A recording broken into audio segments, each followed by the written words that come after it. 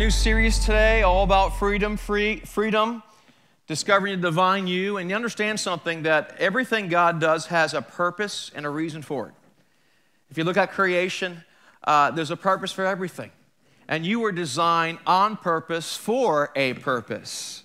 In fact, the Bible says, before you were formed in your mother, mother's womb, I knew about you. And so God has a purpose for every single person. We believe that. The problem is we lose that purpose through sin and we're separated from God. one of our objectives at Cornerstone is to help people understand that they're made in God's image and that He desires to have a relationship with them that they can discover the person they're created to be.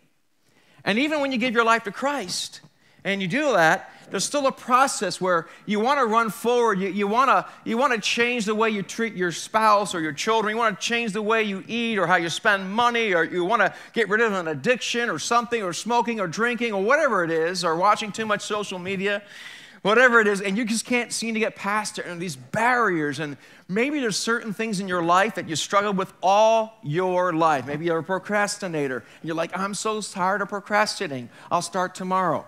and, and, you know, you find all these things in your life and they can get frustrating. And if you've been around for a while, you get tired of being tired. So you're like, you know what, I'm going to lower my standards. Because frankly, it's too difficult to move forward. And sometimes these new years can be a reminder of past failures, or perhaps a divorce, or perhaps a, a, a missed opportunity, or perhaps a, a relationship breaking, breaking down or perhaps failures you had. And, and, you're just thinking, you know, I've tried so hard and so long and I'm tired of it. Some of, some of you are also uh, find great success. It seems like everything you do does well. You make a, you make a goal, you, you achieve it, and you're really excited about this new year. So we all come from different points of view and different places. But you know what? The Bible says, weep with those who weep and rejoice with those who rejoice. You see, our objective is not to be successful just by ourselves, but to help each other to become what God has you to become. And so we should care about each other. So we should be lifting each other up. And I love it. And I think one of the models of this church is we don't compete, we complete each other.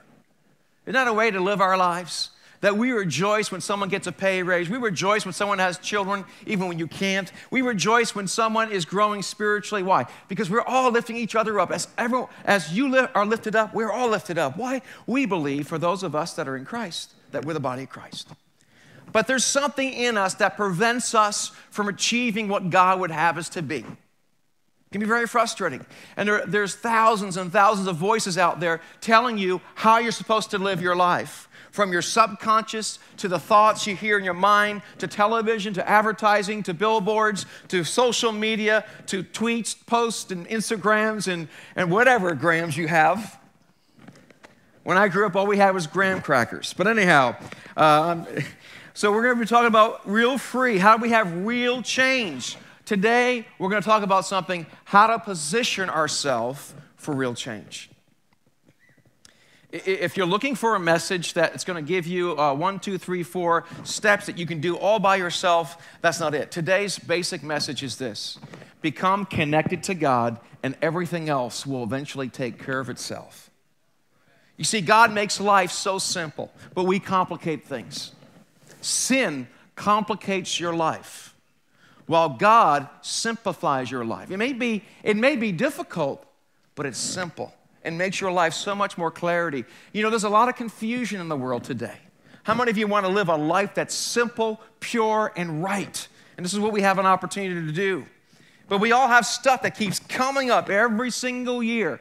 Or maybe you try for a while and, okay, I'm going to try for a while. You do well. You do well for a while. And maybe two or three months, and all of a sudden you slip again. Oh, I knew I couldn't keep this thing going. I'll try again. You slip again. I'll try again. You finally forget it. I can't do it and we get frustrated.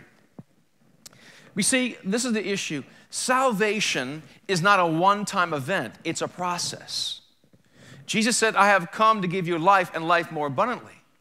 Those who call upon the name of the Lord will be saved. And the word, Greek word, is sozo. And sozo includes redeemed, transformed. And so it's not just talking about salvation only, that's the beginning point. when God gets the deed and the ownership of your home, now there's renovations that will take place. I wish I could just buy a house and never do anything with it again. uh, if you're a homeowner, you know that's not the if you're even a car owner, you know that's not the case. There's a process of keeping maintenance and also if you're in a house to upgrade and keep things going.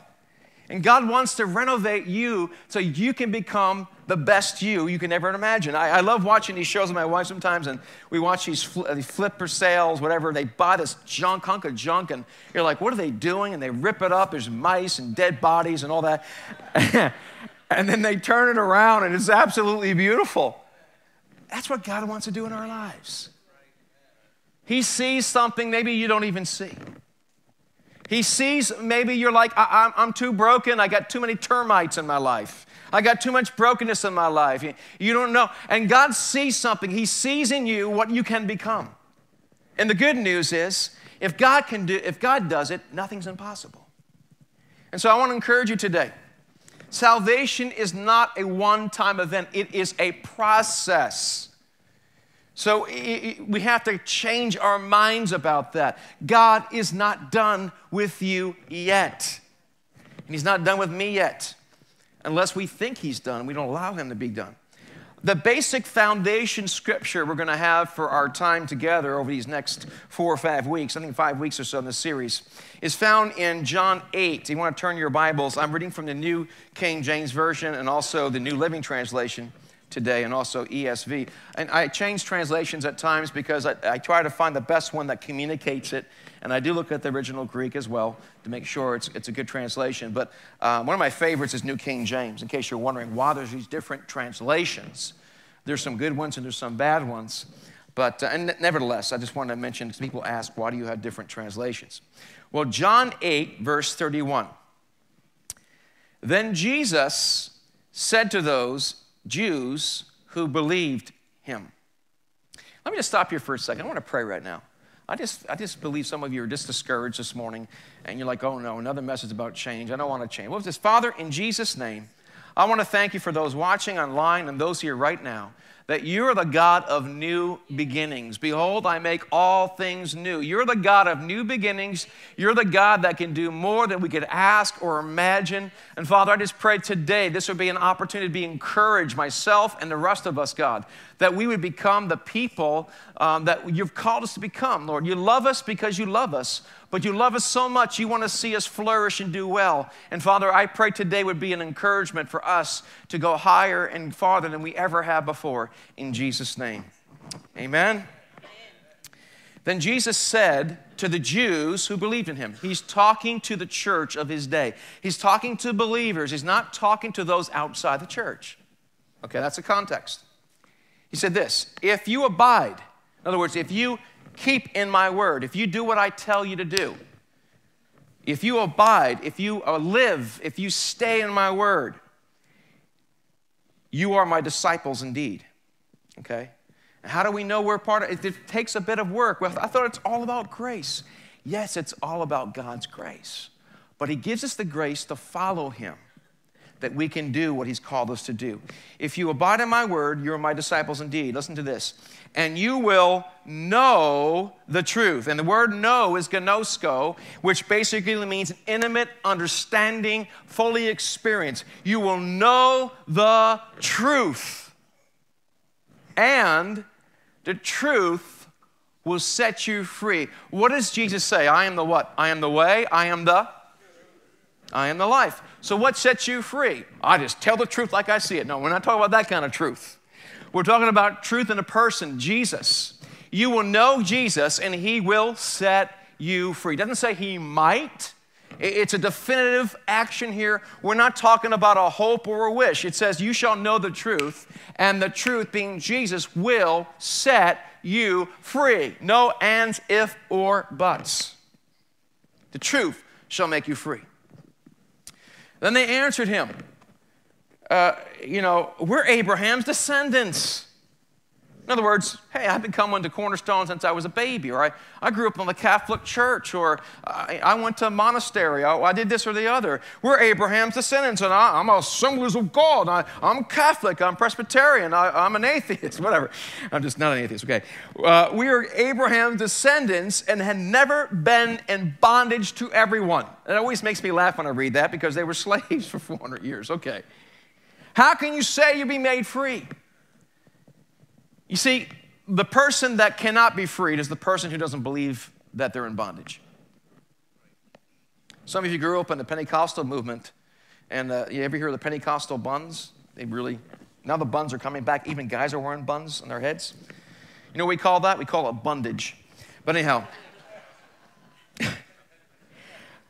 how can you say you will be made free? You can't be free if you don't believe you cannot be free. You can't be free if you don't realize the fact that you can be in bondage or you can be bound up to stuff. And so maybe today you would think, well, I'm a Christian, I have everything I need. Well, that's true. The potential is there for everything you need, but you're probably not experiencing everything God has for you, and neither am I. And God wants to give us more and more freedom. Why? He loves us and wants to see us to become the men and women of God. And so you can't be free because you don't believe you're in bondage. You got to understand, all of us here today are in bondage. Look at your neighbor say, You're in bondage. How, doesn't that make you feel good? Well, Jesus has set me free. Well, hold on, hold on. We're going to make this uh, more clear. I probably don't like what I'm saying here, but the Bible talks about, I'll show you. Just hang on with me here for a little bit. But the first step in finding freedom is gaining the knowledge that there are strongholds in your life. And one of the things that often happens is strongholds often become habits, right? Habits are wonderful blessings that God has given us. He gives us the ability to do something so often that we begin to do it automatically. And sometimes I'll be driving and I'll end up driving to the church. I'm supposed to get a gallon of milk. Whoops, I went the wrong way. I'm just so used to driving a certain way, right? You know how to tie your shoes, you don't have to think anymore. Of course, thank God for Velcro and slip ons. But anyhow, but you get used to stuff, right? You get used to stuff and it becomes a habit. However, you can also get in bad habits. And often those are strongholds. Those are light, but sometimes they're even more than just bad habits. Sometimes they're literally demonic strongholds. I spoke about it uh, several weeks ago, and I talked about um, finding freedom and talked about the demonic realm. You can go back and listen to that at cornerstonecheshire.com. I'm not going to repreach that today, but there is a spiritual war going on where the enemy's basic job is to throw a monkey wrench in your life and my life. The good news is, greater that's he that's within me than he that's in the world. But the way that the enemy gets the access point primarily is through our minds and getting us to believe a lie instead of the truth. If the truth will set you free, then a lie will keep you bound. And so, one of the greatest things we have to do is my people uh, are destroyed because they do not understand, their lack of knowledge. And we want to give knowledge that has this word in action. We don't want to admit that we have issues in our lives. And uh, how would you how, how many of you would like to have more freedom in your life? Just, you know, just be able to let some stuff go and, and, and next year you say, you know what, 2016 was the, day, was the year I gave up smoking, it was the day I stopped procrastinating and I won't start tomorrow, I'll start today. I mean, and you just have found your marriage is back on track, your, you, your studies, your grade point has gone up and you're, you're, you're happy, you're healthy, you're doing well. How many of you know people, how many people know somebody that is bound to something? They just can't control themselves. They're bound to alcohol, drugs, or there's something in their lives that it just, it just can't get over it. It's just, you see them, they talk about it, and they're just bound. They're, how many people know people like that? No one? Come on, everybody, let's all participate. We all know someone like that, right? That's bound by sin.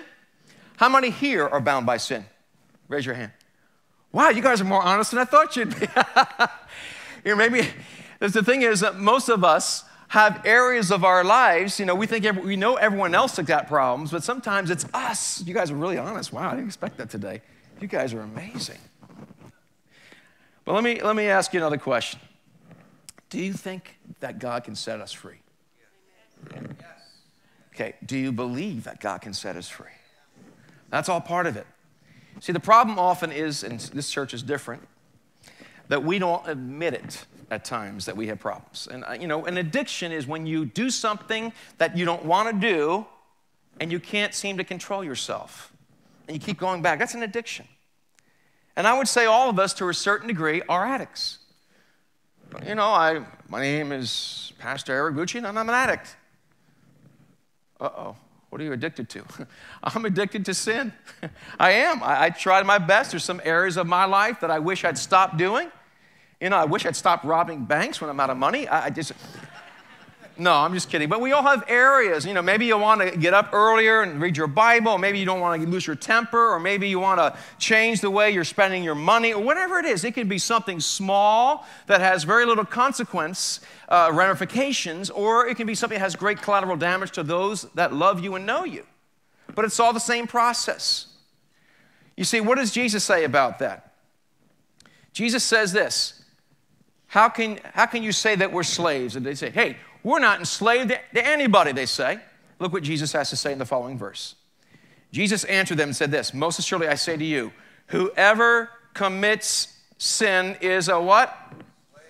Slave, Slave to sin. Now let me ask you a question. How many of you commit sins? You sinners? No. That means you're a slave to sin. According to Jesus, if you commit sin, you're a slave to sin. Think about it for a moment. If you and I did not commit any more sins, we'd be completely free. Truth of the matter is, you and I had different slaveries in our life. We're enslaved. Listen, think about it.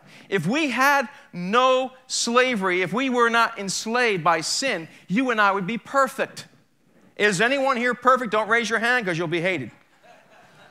No one is perfect. Now, this is not a license. Well, I'm not perfect, you're not perfect, let's just mess up all together. No, we're not suggesting that. But what we are suggesting is we have a sin problem, it is a slavery problem, and God wants to set us free, and He gives us the ability to become free. Jesus said the following in, uh, in John 8 34 as we continue to read on the scripture. He said this Most assuredly I say to you, whoever commits a sin is a slave to sin. A slave does not abide in the house forever, but a son abides forever. Therefore, if the Son makes you free, you will be free indeed. The most hopeless people that I know, I've met a number through my life. I've met people that were so strung out in drugs, and I worked at a, a drug rehab in, in Brooklyn for a period of time in the summer. I've seen people mess up and but you know the most hopeless people I've ever met in my life? They might not even realize they're hopeless. They're the people that have, think they have it all together. Like the man in the Bible says, Oh, you've done well for yourself. Build bigger barns and say, I will relax. Those, Jesus says, you fool. Your soul will be required of you. It's the people that think they have it all together. Sometimes the greatest temptation is success. Sometimes the greatest temptation is when you get that pay raise, is when you are succeeding. You begin to think it's all you. Now, I'm not suggesting we all fail, but we must remember where our strength comes from. The Bible says a slave does not abide in the house forever. And I'm not talking about going to heaven or hell. What we're talking about are the benefits that God has for us. We're not achieving and, and, and having the opportunity to experience what God has for us. Now, when I say you are a slave to sin, what I mean by that is we all have slavery issues in our life, but what we want to do, hopefully do, is like an onion, peel away layer after layer, and every year you and I should be coming nearer and freer in God. This is what God wants us to do until we become like him. And so, therefore, if the Son, let me read this again, a slave does not abide in the house forever, but, this is good news, a son abides forever, and you're in the house of God. Therefore, if the Son makes you free, come on, let's say it, you shall. You shall be free indeed. It doesn't say you might be. If the Son sets you free. There's a condition clause here. If.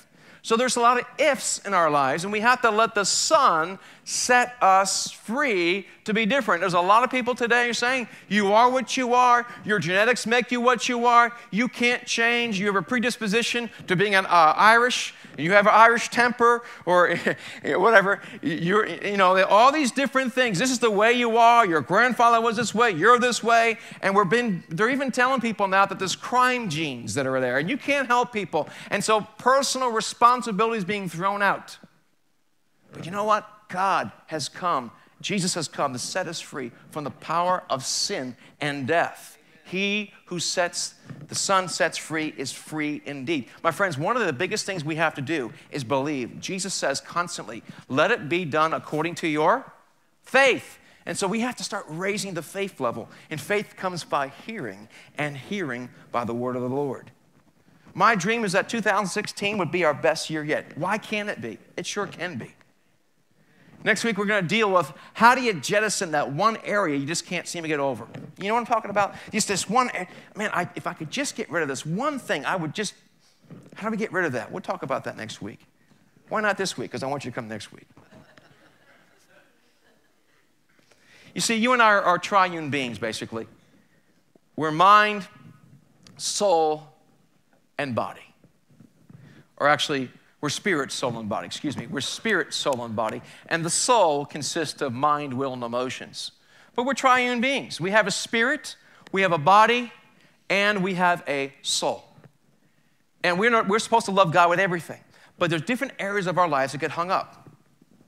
And so, first of all, there is the un- unspiritual person, or the person whose spirit has not been redeemed or set apart for God or turned on. You see, the moment you and I sin, our spirit man, or the connection to us in God is broken. It's like it fries the connection. We had a seri- we had a situation this past summer where lightning struck the church or close to it, and it fried some of our electronics. It just didn't work.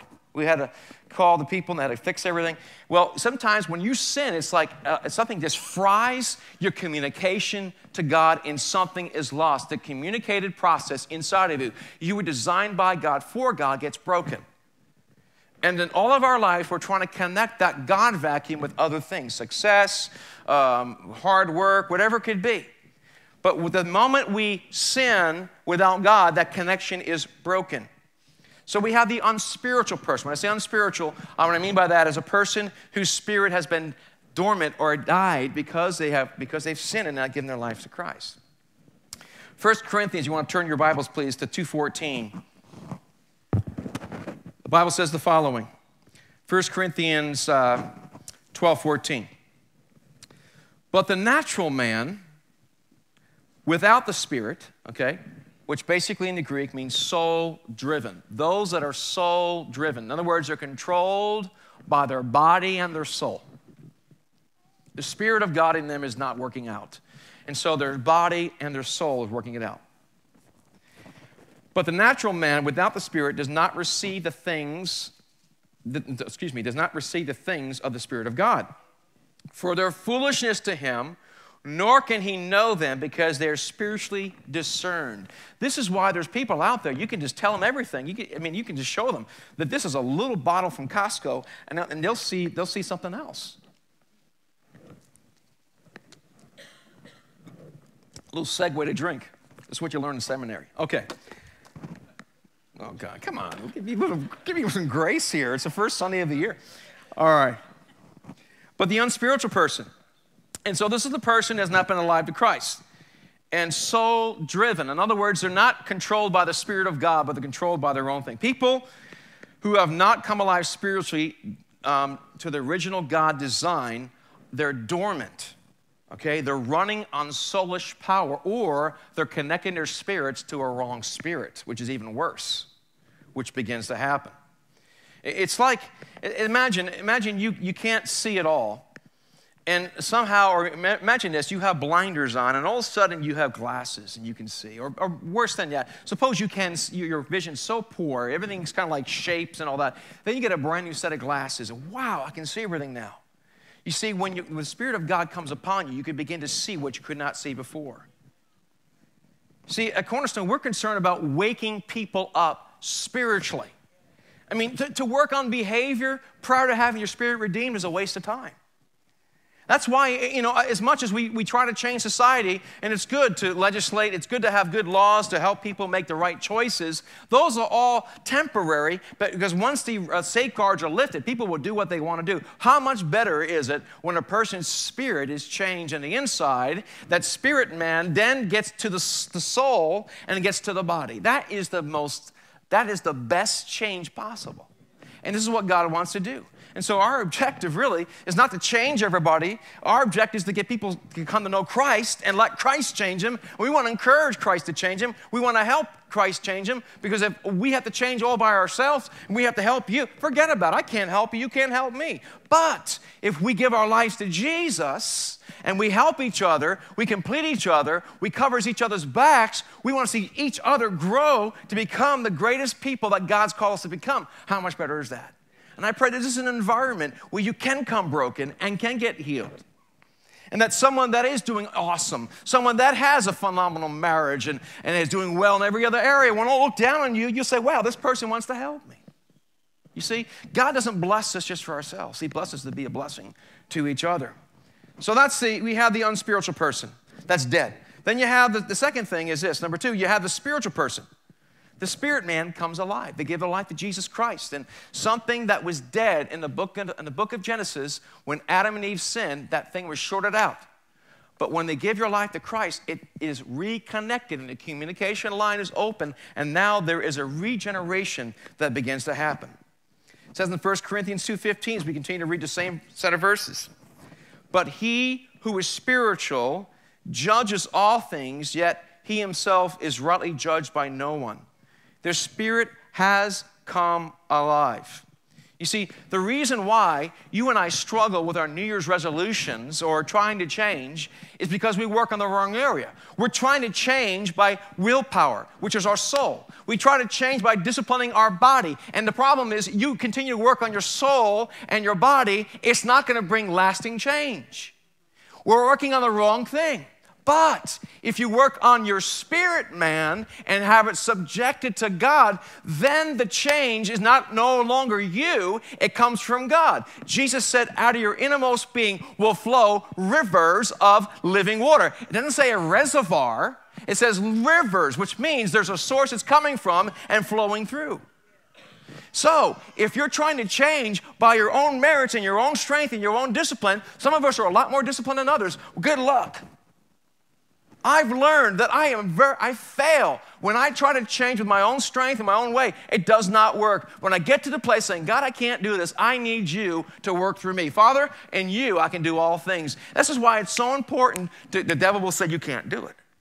This is the way you are. You, you're just born this way. You, you're not very smart. You, you're, you're just a person that cannot achieve anything. Your, your parents were, were poor. You're poor. Your mom got a divorce. Your dad got a divorce twice, and you're going to get a divorce too. No, I can do all things through Christ. And we have to do is to let the Spirit of God come alive in us. You see, and that's the secret, folks. What does it say in one of the most important verses in the Bible, Matthew 6 33? Seek what? First, the kingdom of God and his righteousness and all these things will be added to you as well. What we need to do is realize if your spirit man is strengthened, then there's potential for God to work in every other area of your life. Instead of just being your own might and strength, you will be coming along with God. It's like climbing a hill or going down a hill with a wind at your back. Eh, eh, you still do the action, but God is with you. And this is what happened. God told Joshua, Every place you place your foot, it will be yours. And God has given us the promised land of his blessings. But we still have to go out and fight, but we fight with the Lord. There's a vast difference of fighting with the Lord and fighting by yourself. If you want to fight by yourself, you're going to fail.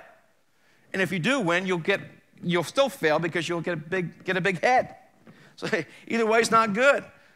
The best way to change your life is to change your life spiritually because spiritually you last forever. Your body and your soul kind of falls apart, but your spirit man lives forever. Why invest in cotton candy? Why invest in sandcastles where the tide comes in and washes them out when you can invest in castles built upon a rock that lasts forever? You see, any spiritual investment you do is both here and forevermore. And so, if we're going to see real change in our lives, we have to work on the spirit man. And the beautiful thing is that God wants to work with us. Isn't that good news? All right? The spiritual part of you will help change the natural parts. Changing from the outside in, it, it works, but how much better is when, why did Jesus come the first time? People thought Christ was going to come as a conquering king and come in here, wipe out the Romans, and start up a new God. He didn't do that. What did he do? He conquered first the hearts of men.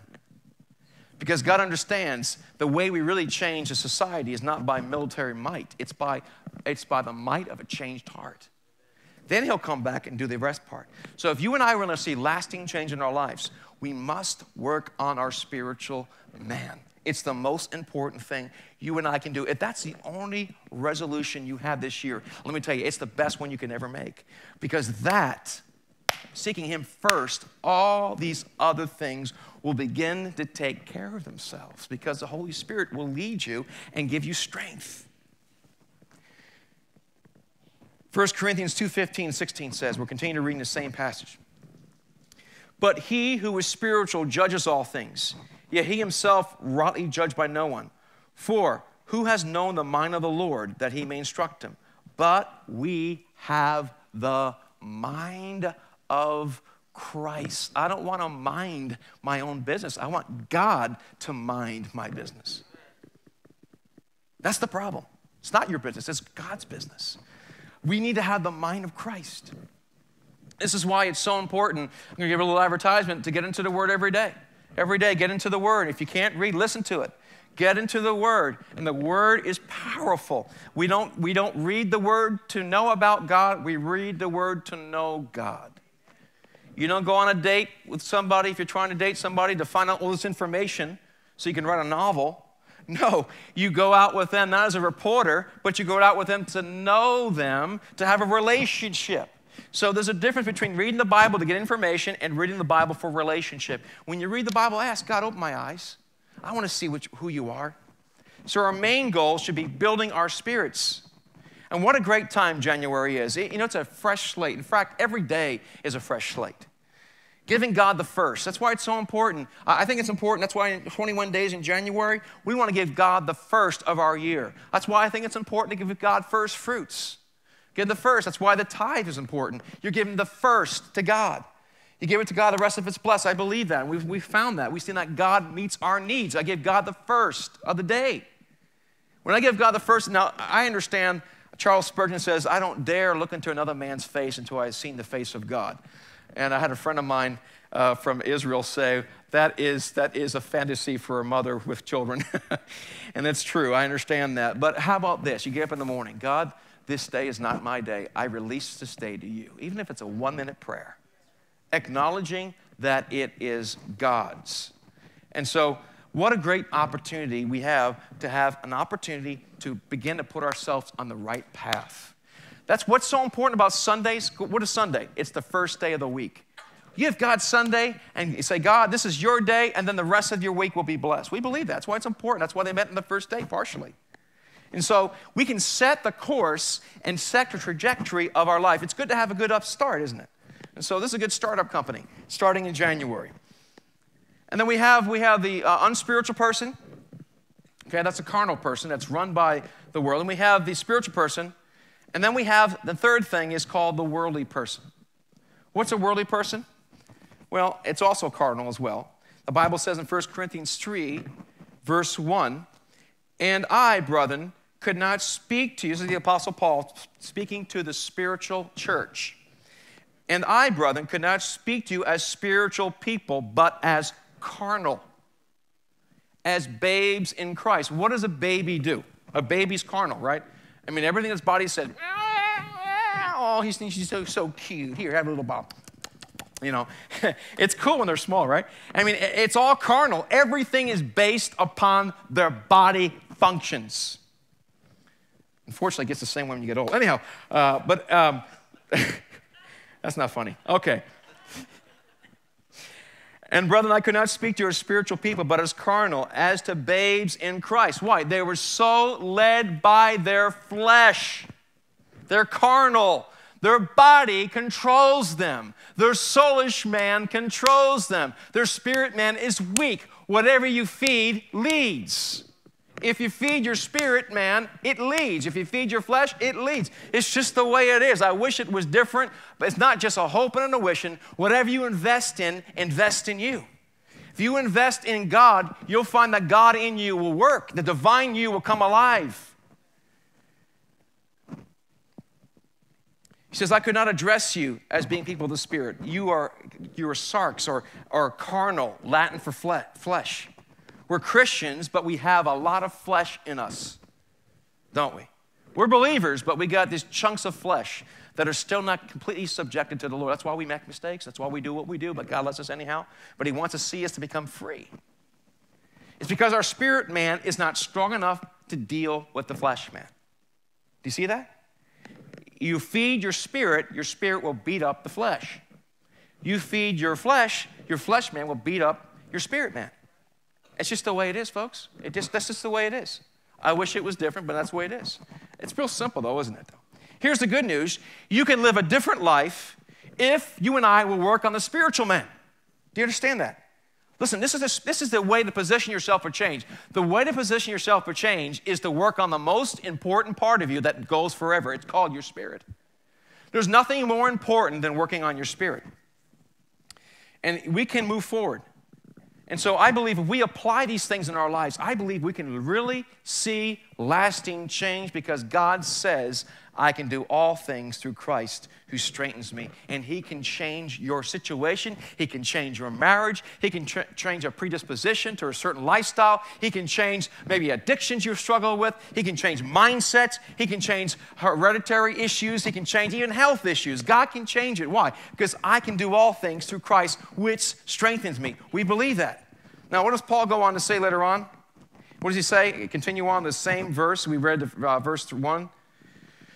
Now we go to verse 2 and 3. I fed you with milk and not solid food, for until now you are not able to receive it. You see, God wants to give us more. But if we don't get past the bottle, if we don't start growing spiritual teeth, and, and you know what I'm saying? God wants to give us more. I mean, He wants not, He doesn't want us being babies for the rest of our lives. Spiritual bedwetting gets tiring after a while. God wants to get us by ourselves, right? You want to wear pull ups when you're 35 years old, right?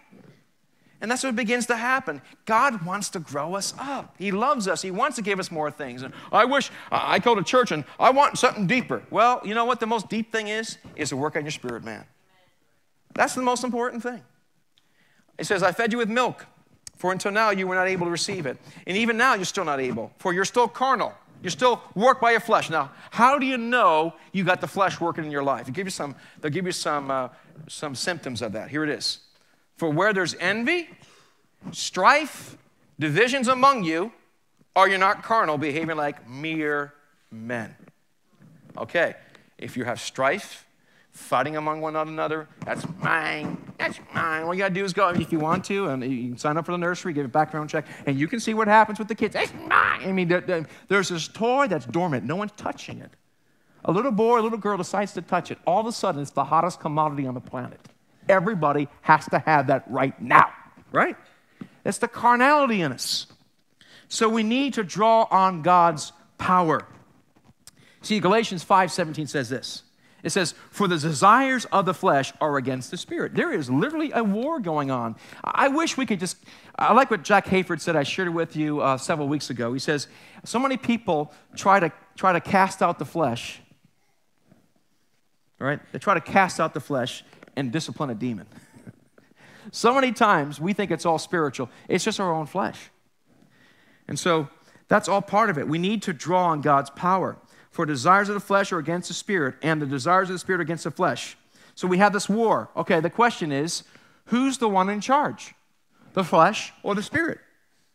Now, this is the good news. Good news, you and I have a choice to change. You and I can make that choice. God will not force you to choose Him, He gives you a choice. He gives me a choice. Which one will we choose? Which one will be stronger than the two? Whatever you feed leads. Remember that. I want you to say that out loud. Whatever you feed leads. If you feed the flesh, the flesh leads. If you feed the spirit, the spirit leads. That's the answer right there. It's real simple. This is so huge, guys. Uh, it's so easy. It's so I know, I know. The most profound things in life are the simplest. These are the fundamentals of the game of life. If we have a lot of worldliness in us and a little bit of God, how are you supposed to do if you if you have a diet of world all day long, World, world, world, world. We give, we give uh, the rest of the world 13 hours a day and we give God 15 seconds. What do you think is going to happen, folks? This is not condemnation, this is an opportunity to be better. It's my objective of this church to help you on your spiritual journey to take one step closer to Christ every time we meet together. That's all part of it. Here's the problem and here's the solution, all right? I know uh, this is a lot of information today, so I'm going to try to uh, synthesize it a little faster, but this is important. I appreciate you tracking with me. We'll get some pragmatic and practical steps right after this. But I want to bring something to your attention Matthew 17, 14 through 18. At the foot of the mountain, a large, Jesus was preaching here. A large crowd was waiting for them. A man came and knelt before Jesus and said, Lord, have mercy on my son. He has seizures and suffers terribly. He often falls into the fire, into the water. So I brought him to one of your, disciples, to your disciples, but they couldn't help him. Jesus said this You faithless and corrupt people, how long must I be with you? How long must I put up with you? Bring the boy here to me. Then Jesus rebuked the demon in the boy, and it left him. From that moment on, the boy was well. Now, in this particular story, there's some points I want to bring to your attention. It's going to be a little bit, uh, ladies and gentlemen. We're not quite ready to do communion yet.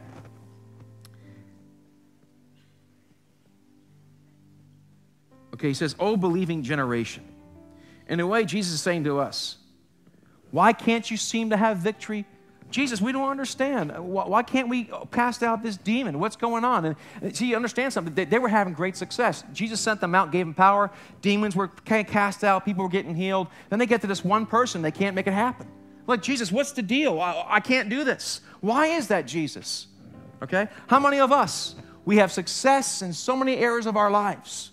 We've overcome so much, but this one area, we're like, I don't understand. I just can't get rid of this. And Jesus says, it's, You carnal person, you. well, thanks, Jesus, you perverse and unbelieving generation.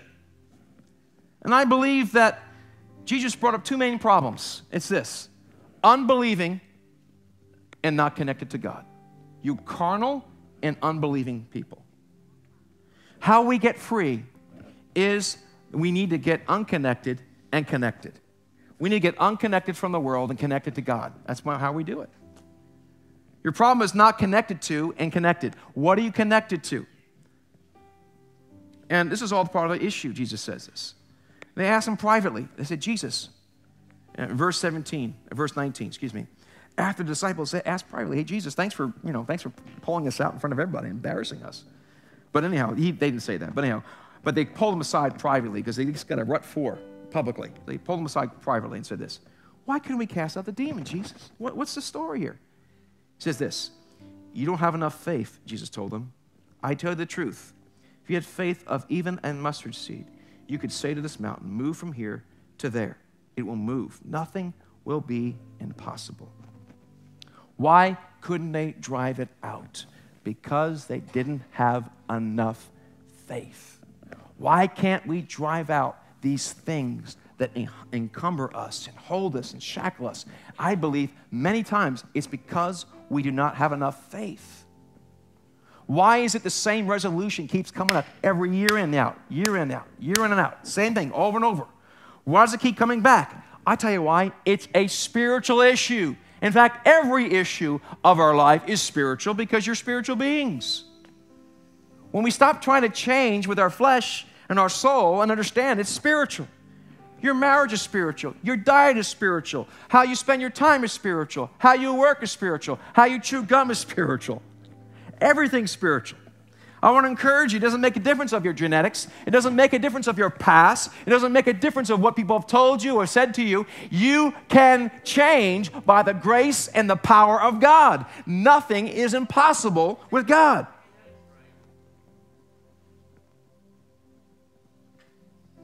See, the problem is this we're too connected to the world and we're not connected enough to God. It's real simple. It's, I wish it was more profound. Mm, that's real deep. yeah, it is real deep. It will change my life and your life. Now, why? How do, what does he say? He says this one. He says, This one does not come out except by prayer and fasting. I want to encourage you prayer connects us to God,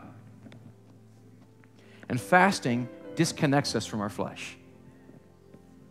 Connected to God and disconnected from your flesh. How's that happen? Prayer and fasting is a very powerful discipline, both in the Old Testament and New Testament. You want to put a turbocharge on that change, you want to put a supercharge on that change, try prayer and fasting. Not just getting over the cookies and cakes you had over the holidays. Okay, that's not what we're talking about. What we're talking about is prayer. And a lot of us have done these fasts in the past, but we, we spent so much time on the fast, we've lost the reason for it.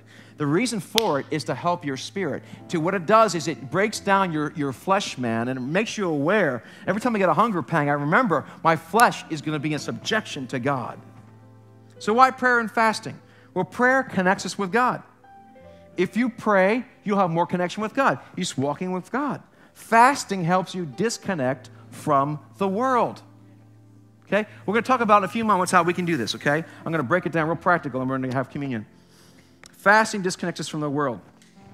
Now, some Christian religions, they get all legalistic, and there was a place in Colombia where these people climb a thousand feet on their knees to go to a monastery, and they try to make God happy with them, go to the stations of the cross. They get up from the top there, their legs are bleeding, they're walking forth, and or you're in a cold monastery with a. that's not what God wants us to do. He doesn't want to make us miserable, He wants to make us whole. And so, fasting is a way to discipline our flesh. This one does not come out by fasting and prayer. I had a person come to me a little while ago and say, The situation you're facing in your family, not my immediate family, but your family, is going to take prayer and fasting. You've done everything you can do. Now all you can do is pray and fast. And he's absolutely right. And so this is a good opportunity for all of us. What are the areas? Prayer connects us to God, fasting connects us, disconnects us from the world. What would happen if you and I would take an opportunity to fast and pray this season. I'll tell you what would happen. You and I would get momentum to move forward in a new capacity, a new way. I love what the Romans 8 12 says. Therefore, dear brothers and sisters, talking to the church, you have no obligation to do what your sinful nature urges you to do. You do not have to do what your body tells you to do. You don't have to live the life that you've been told you have to live. Just because you have an urge doesn't mean you have to do it. You are under no obligation to live in sin. We're under no obligation to be sick. We're under no obligation to suffer with these, these vices in our life. You're under no obligation to be, to be addicted to cigarettes or alcohol or, or worry or whatever it is. You're under no obligation to pornography, to adultery. You're under no obligation to worry. You're under no obligation to being a, a person who spends too much money. You're under no obligation to these things. You're under no obligation. The world says you're under obligation, and the Word of God says, No, you're not. Don't tell me I am. God is greater and greater. He, the flesh was killed on the cross so the spirit man could rise. Because He died, you and I can rise, not only for heaven, but for now. You are under no obligation. I declare to you in the first Sunday of 2016, you're under no obligation to your flesh. Don't believe the lie. Romans 8:13 For if you live by the dictates of your flesh you will die. But if by the power of the spirit you put to death the deeds of the sinful flesh. Doesn't say muster up more strength. No, by the power of the spirit. We're like little David with a slingshot. You got this Goliath in your life.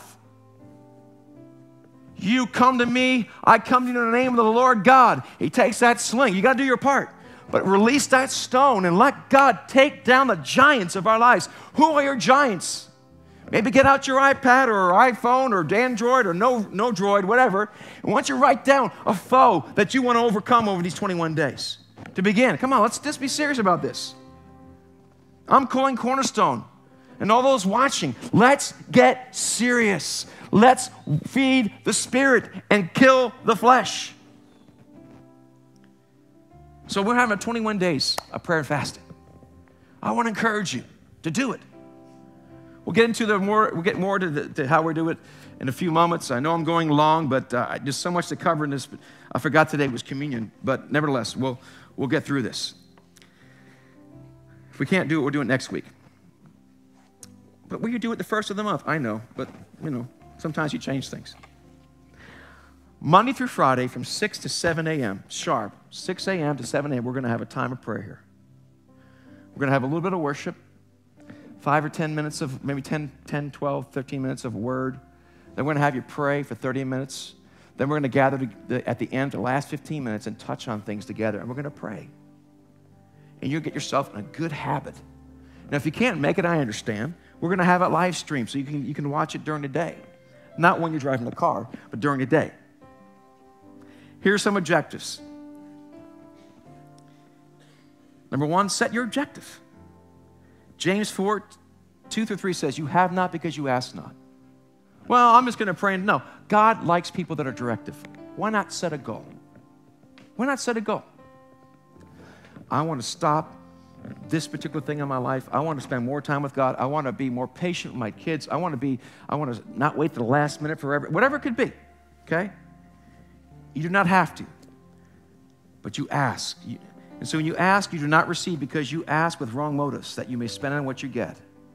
Here's what I want to tell God. I want to tell this. I want to tell God this year. Number first one is this I declare my complete dependence upon God. It's not for me, it's God. I need God first in my life, and so do you. And then I want to ask, I want to do that. I want to spend this time of, as saying, God, I give it all to you. I'm, I'm, I'm, beginning to strip away. You know, sometimes it says, break up fallow ground and search me. You know, if you think you have no issues in your life, you have more issues than anyone else I know. There are all, all of us have areas in our lives we can become free of. Why wouldn't you want to take the opportunity to have more freedom? And when you have hundreds of other people doing the same thing, I, I think it's encouraging. So declare it depends upon God. God, you're it. Number two is this ask for forgiveness of yourself and our country. This is a very vital year, 2016, in the political landscape. There's a lot of things that are happening this new year. And also, not only that, but internationally. We need to pray for forgiveness for our land and ourselves. And what else we want to do? So we, we, we commit ourselves to God. And we also, the third thing, is we want to refocus spiritually. We want to set up some good habits and good patterns for this new year. And this is the final one I wanted to encourage you about. Believe that God answers prayers, because He does.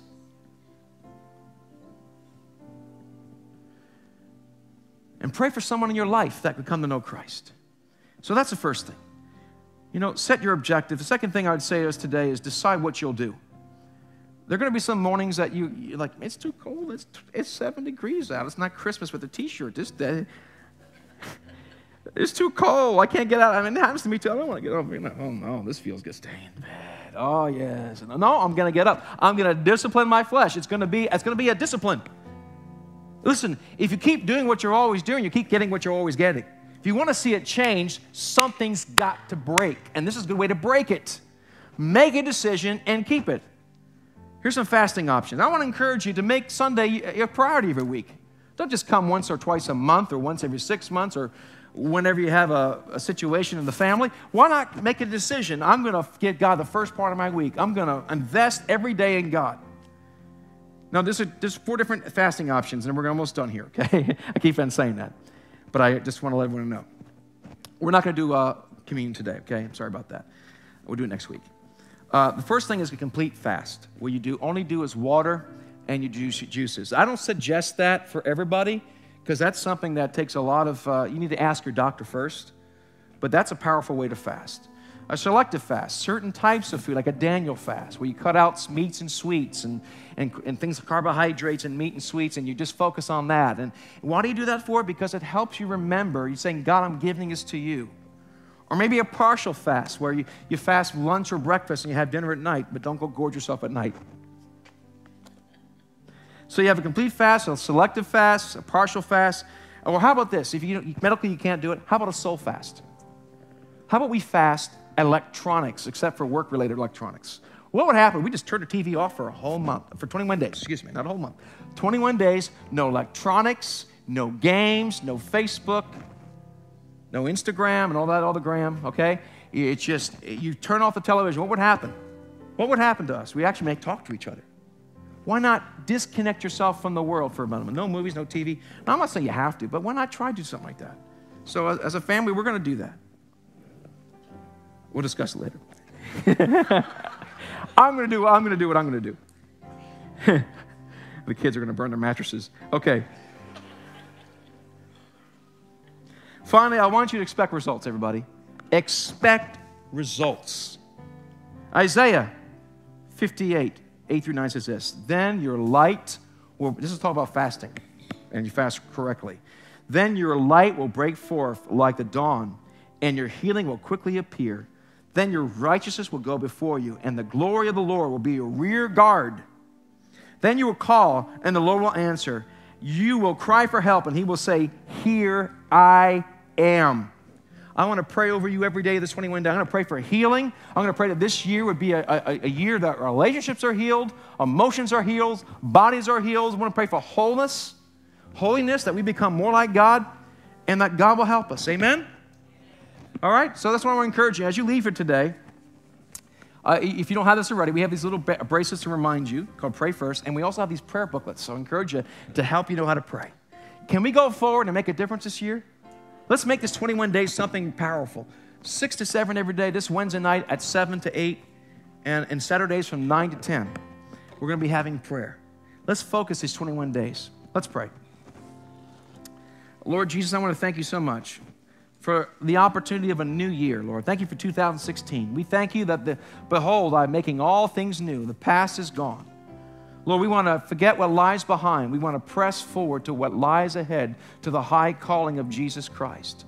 Father, I ask in Jesus' name that Cornerstone this year, us watching and here right now, we would see things broken off. Lord, that we'd hear testimonies of people saying, My marriage was healed. I, I got off this addiction. This lifestyle choice I had has been changed.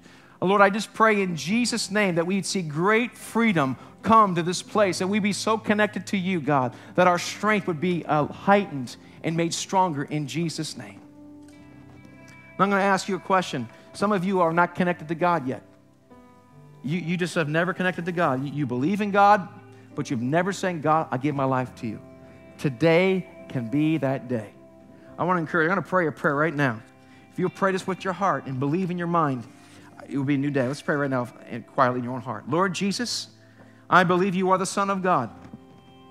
I ask you to forgive me of all of my sins. I choose to walk away from being the boss of my life. I declare today that you are my God and I will follow you.